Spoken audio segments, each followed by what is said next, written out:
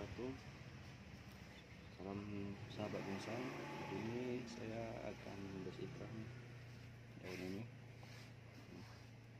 Supaya bonsai kelapanya lebih